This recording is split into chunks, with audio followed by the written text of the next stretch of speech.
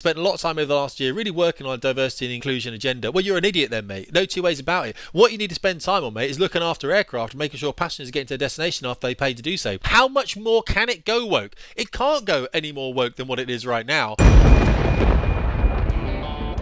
Okay, welcome back to Fast Jet Performance then. My name is Tim Davies and for 20 years then I flew fast jets in His Majesty's Royal Air Force and now I tend to spend more time outside of it fighting against very poor diversity and inclusivity aspects. And one of the things we're going to look at today is how this is starting to infiltrate very deeply within our core services. Not only the Royal Navy we'll look at, but also air traffic control and things that you probably use on a daily basis. We're going to end this as well by having a look at some civilian examples, but more so looking at the difference between complex and complicated systems. Because if we don't grip this early, guys, if we don't really attach ourselves to this problem and get rid of it, then we're going to find ourselves in a, an area that we cannot come out of. And that, that could be exceptionally detrimental for every single one of us. Okay, I've made myself a little bit smaller then. Look, Navy personnel told to introduce themselves with pronouns in trans guidance. This stuff is bollocks. I Argue against this the whole time. This is the Royal Navy we're talking about now. His Majesty's Royal Navy. Let's have a look at it. In essence, the Royal Navy personnel have been told to introduce themselves with their pronouns before meetings in official guidance seen by the Telegraph.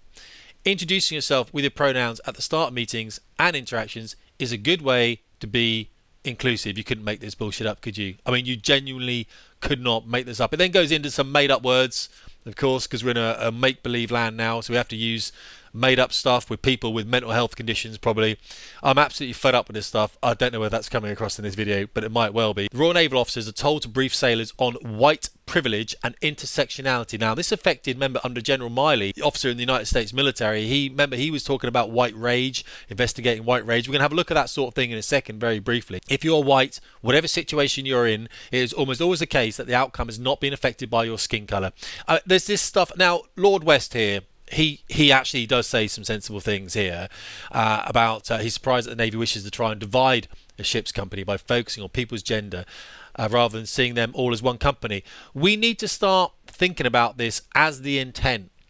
That's what people aren't doing. I want you to sit there and go, right, if this was happening intentionally, right, if immigration coming to the UK was intentional, if this diversity aspect was intentional, who's doing it? Why are they doing it? What's the big picture? And we're going to move into that a little bit later if we can, okay? But I think it's exceptionally dangerous. Let's not do too much more on this because it does annoy me a little bit. But I will just say Stonewall, the absolute idiots, are obviously in this as well. Now, I argued with the Air Force for a long time about Stonewall. They didn't listen to what I said, and they ended up having to pay money to young white men who didn't get in. And we'll have a look at that in a second as well. Air traffic control told to abandon woke diversity schemes and focus on the job. I'm not a fan of our current conservative government because they are not a conservative government. I'm a conservative man with a massive C, all right? But I'm still a little bit of a libertarian, everything else as well. Don't get me wrong, I'm a bit of a confused cat, all right?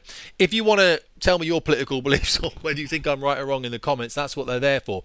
But look, this is air traffic control. There is no place in here for um, pushing a diversity agenda. Save that to B&Q if you want to. Save that to the post office. It doesn't matter. But look, MPs demand air traffic controller spend more time dealing with passenger service and safety and less pontificating about identity politics. It's told to get its head out of the clouds and abandon the woke diversity agenda. Unconscious bias training, which was scrapped by the civil service because there's no evidence to prove it actually works. If anything, it does the opposite. It, it, it really gets people kind of worked up. We need to get rid of this idea of white privilege in a overly indigenous white population as a country, of course. You're going to get a pushback. Anglo-Saxons don't tolerate this very well. I'm talking about the whole of Northern Europe at this point. We're going to see some pushback if we're not careful within the next five years, most definitely. But look, leading the diversity drive is this chap here. Diversity and inclusion is the right thing to do. Now, it wasn't the right thing to do, of course, 10 years ago, but it is now for some reason. And that's because it's the latest bandwagon everyone's jumping on. We know that, don't we? So we spent a lot of time over the last year really working on diversity and inclusion agenda. Well, you're an idiot then, mate. No two ways about it. What you need to spend time on, mate, is looking after aircraft and making sure passengers get to their destination after they pay to do so. This is the main problem. This is the problem here. People like this are recruited very early on, such as Mike Wigston was also, I believe, personally, in order to serve an agenda of, with nefarious, nefarious intent. Okay, very poor intent. And we're going to have a look at that in a second. Look, how we review CVs, how we review candidates, how we look at things in a way that isn't unconsciously biased to what we've seen before. Basically, they're going to recruit more people of minorities and less people of white. That's what they're going to do. We know it's true. And it's saying that it's kind of here we go. A latest graduate intake to their traffic service has been 58% female. It is partnered with a youth organisation named Fantasy Wings. Uh, I think I've spoken about Fantasy Wings and the problems with them as well.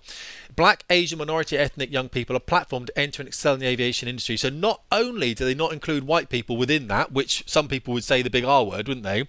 But also you're not allowed to have one. I couldn't start something saying no, there's no minorities allowed in my uh, in my thing, mate. So um, I've got a platform to only allow white people to enter aviation. You can't do it, and because of that, you should not be allowed to do that either. That's not inclusive. Remember, these people want to be inclusive, but they don't want to be inclusive of everyone. They don't want to be inclusive of the the young white man, do we? And I'll show you how that backfired in a minute. Can we just agree, please? The rest of this is bollocks, and then we can move on.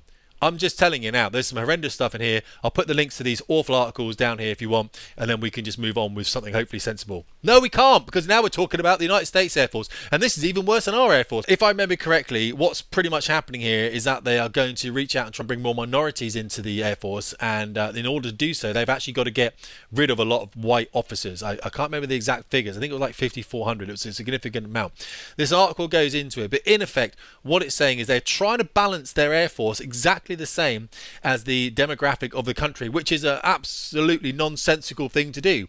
I can understand why people think, well, it's quite sensible, Tim, because then actually what we can do is we can make up police forces because you police by consent. Yes, not air forces. It's ridiculous. Again, this whole article basically says this is a ridiculous article with an exceptionally racist policy that I personally don't want anything to do with. This man now has overtaken uh, General Milley to be the most senior uh, man in the US military, and I, I think well, should, should, we leave it? This is the thing about the problem with white men. You know, I put up, I went up against this, and uh, I did a whole series of videos. If you go back in my content to see this, young white men were being discriminated against on entry to the Royal Air Force. Why?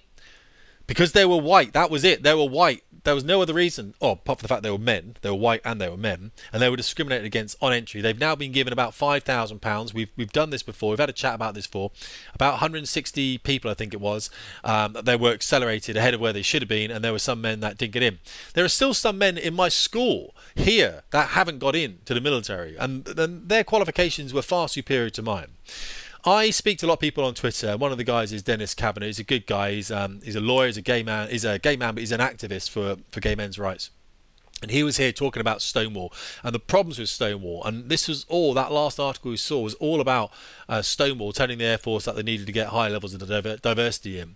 Now, I spoke to Dennis, I always speak to Dennis about this kind of stuff on here. And uh, I said to him, after he started talking about the problems uh, with uh, bringing biological men and women into the same wards and what, all that kind of stuff, I said, look, I warned the Royal Air Force about Stonewall. They didn't listen. And eventually they had to pay out for discriminating against white men that were trying to join the Royal Air Force weren't able to. I think each white man got about £5,000 of your money. There's no government money, that's your taxpayer money that the Air Force have, well, in the big scheme of us throwing money out to Ukraine, it doesn't matter, does it? It's, it's ridiculous. And five grand doesn't matter when we're throwing billions out to, to Ukraine, which is just going in the back pockets of some very uh, uh, some some very crafty wheelie dealing, I, I, believe.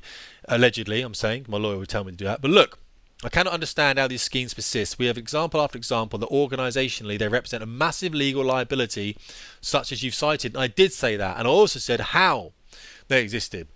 Because when I was in the military, what happened is we recruited people with excessive progressive tendencies, liberal, left leaning tendencies, into what is a meritocratic, built on merit. How good you are means how further up the chain you, oh, it should do, meritocratic organisations under weak leadership. That's another key point there, who are financially incentivized to look the other way. So if you didn't rock the boat, you got promoted. If you did speak out like I did, you never did. I'm not bitter about that, by the way. I got as far as I needed to get in the Royal Air Force, and I got out after 20 years. And also, I got out. When I got out of the Air Force, none of this stuff was going on.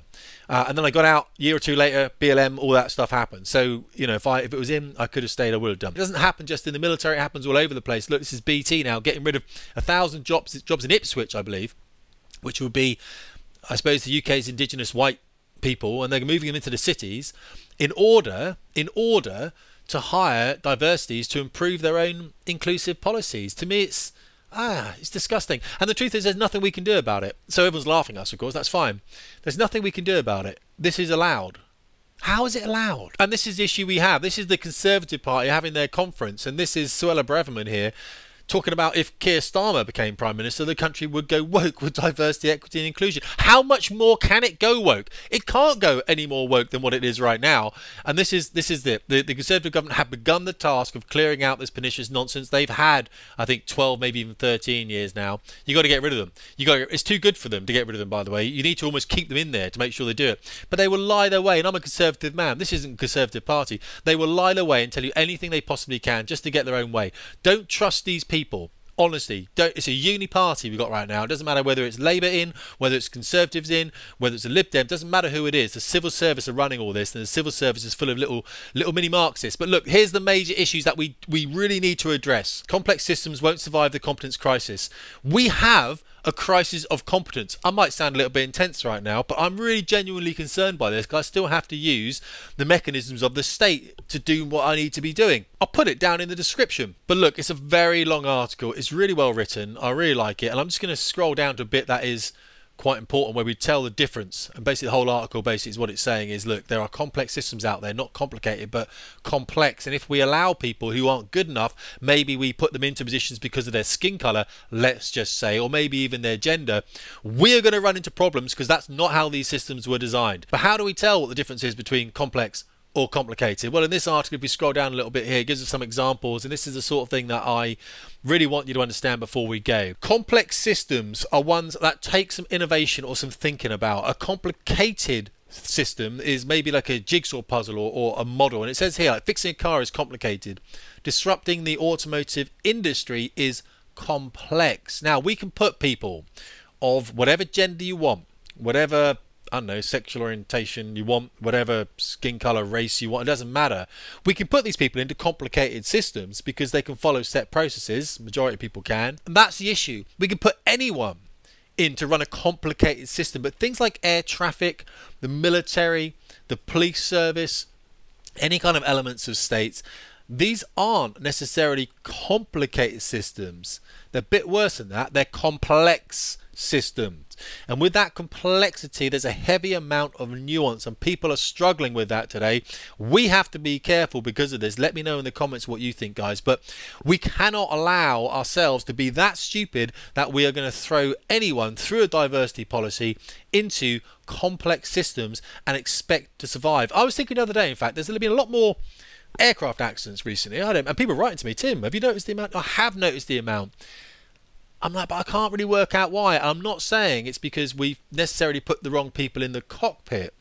But what if you put the wrong people in the surrounding elements of it? Maybe maintenance, maybe air traffic. And maybe they're not doing necessarily anything wrong per se, but maybe their actions aren't as credible as they used to be. Maybe we're second guessing them as pilots. We're like, is that guy, have you done that? Or maybe we're finding errors and that builds up. And when you are flying airplanes, you, you're surrounded by this whole kind of head cloud of of things. Are things going right? Are things going wrong? If that is an issue then maybe that's why we're having a lot more aircraft accidents. It's an interesting one guys. I'm interested in your opinions in the comments. I don't want to be doing diversity videos anymore especially ones that are this bloody long. No one's going to watch it for crying out loud. Appreciate it tim davies. Fast performance